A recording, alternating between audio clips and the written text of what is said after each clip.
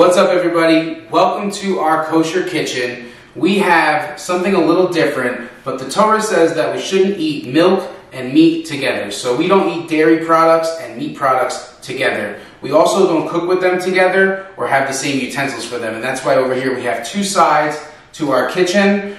Check it out. There's a lot that has changed since our last video. We've been very busy. Contractors been here, all the workers.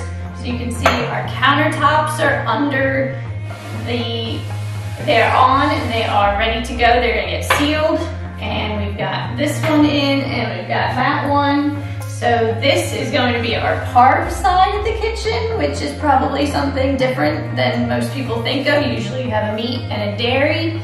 We don't eat a lot of dairy, so this is parve. And then this over here, that will be our meat section. And this is kind of a, a neutral ground. This is gonna be where we can eat in the kitchen. That's why there's a big piece over here so that you can put a bunch of stools around and then it'll go that way. And then there's all sorts of storage under here. We've got three sets of big giant drawers, nice deep drawers where you can just get to everything you want. And over here in these two holes are gonna be our dishwashers. And we've got our stoves getting ready to be set up. The gas company is gonna be coming to get all of that taken care of. And you can see right here, even more storage. And you can see all the fun things. This backsplash we actually decided on last minute because I couldn't decide what I wanted and hadn't seen anything that really wowed me. And our contractor actually found these tiles and said, I found the perfect tile and you're going to love it. And I've known him for years, so he knows what I like. And I said, yes, you did.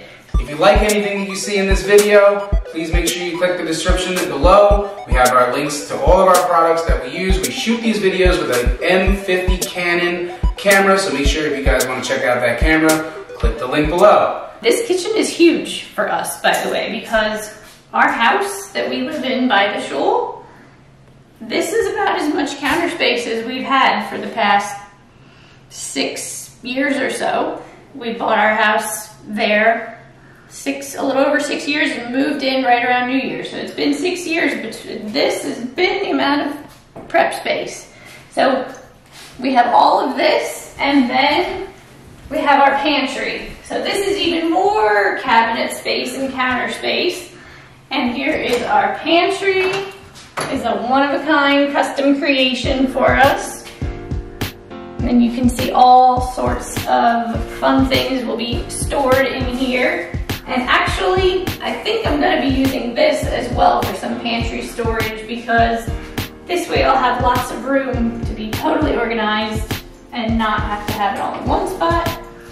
But we shall see because there's so much fun things coming in our kitchen. We've had all of our stuff boxed up since we got married.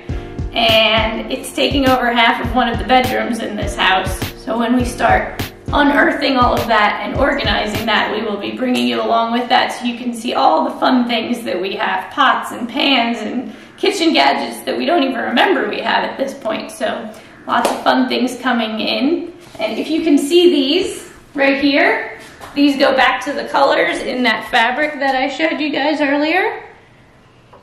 And those I found online. Anybody that knows me knows that I'm a bit of an Amazon junkie. Um, if I can find it on Amazon, I'm gonna do that instead of going to the store.